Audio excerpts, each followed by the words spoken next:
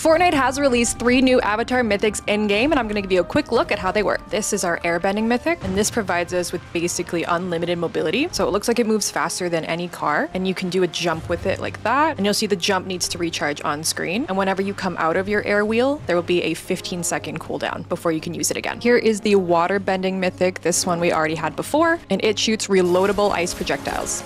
And this is our Firebending Mythic. So with it, you can do a Fire Sweep, or a fire slam. I feel like that would be really useful in build mode. And lastly, this is our earth bending mythic. With it, you can launch up to five stone projectiles that regenerate over time. You can also put up these stone walls like this, which are roughly eight seconds between walls. Have you gotten a chance to use any of these new mythics in game? And tell me which one is your favorite in the comments below.